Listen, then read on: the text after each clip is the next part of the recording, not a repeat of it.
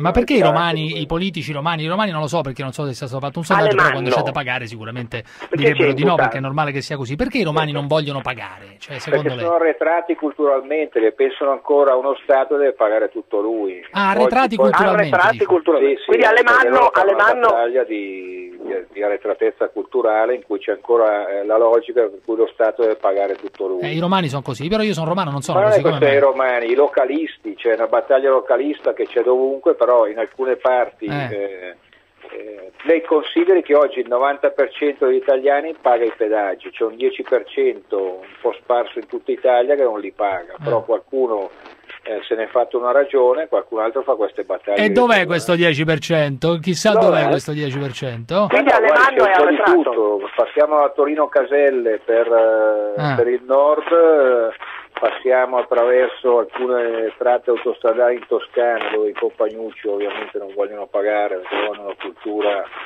del tutto gratuito per arrivare Eh. al grande raccordo anulare per finire a Salerno-Reggio Calabria.